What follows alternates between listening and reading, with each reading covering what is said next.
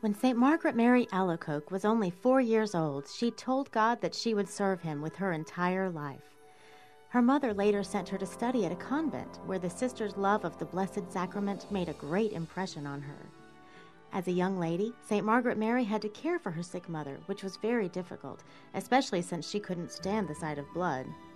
Nevertheless, she cleansed her mother's wounds several times per day, offering the sacrifice to God.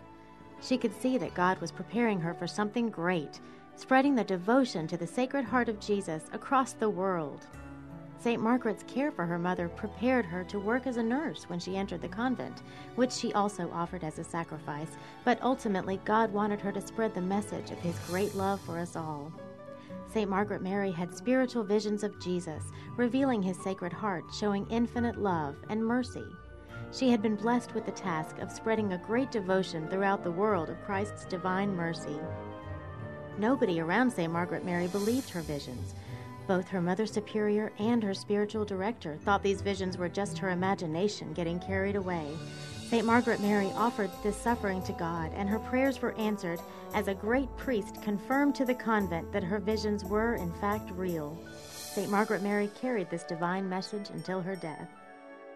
To learn more about St. Margaret Mary Alacoque and other saints and blesseds, watch My Catholic Family here on EWTN.